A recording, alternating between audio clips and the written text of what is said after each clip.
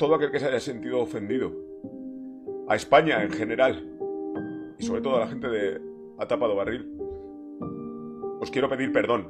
Eh, un perdón claro, sincero y transparente. El youtuber Borja Escalona ya no tiene cuenta en YouTube. La compañía decidió cerrar su canal después del polémico episodio en el que llegó a amenazar a un local de Vigo con cobrarle 2.500 euros después de que la trabajadora le pidiese que abonase lo que consumió de una empanadilla de 2 euros que no quiso pagar.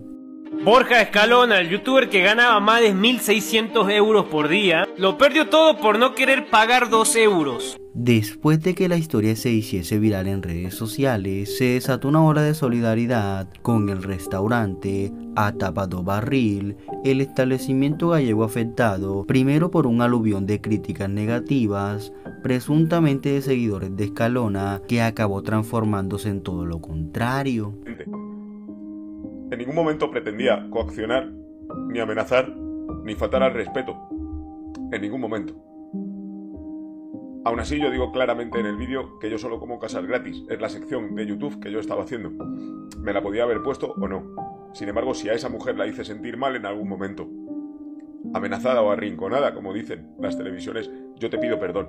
Según ha publicado La Voz de Galicia, la gerente del local Vigués tiene previsto denunciar al creador de contenido por todas las vías posibles. En este sentido, la empresaria señala que no se puede consentir un atropello como este. Por otra parte, el pasado lunes, Escalona rompió su silencio en un nuevo video que ha causado gran malestar en las redes sociales. En dicha publicación, el streamer pedía perdón entre lágrimas, pero se mostraba como una víctima, llegando a afirmar que el problema de España es el odio. Además, uno de los argumentos que escribió Escalona de lo mal que lo había pasado durante los pasados días es que él y su mujer habían sido echados de un restaurante cuando el propietario le reconoció. Te pido perdón, además un perdón muy sincero, de corazón. No es justo. Llevabas muchas horas trabajando y de repente llega un youtuber estúpido y, y hace lo que hice yo. Sé que un perdón no va a cambiar nada porque en este país y sobre todo contra mí, el odio ya está más que extendido. Pero aún así quiero que quede constancia de este vídeo. Para mí, para mi familia es muy duro lo que estamos viviendo, es muy duro lo que está pasando. Yo tengo la confianza, al final,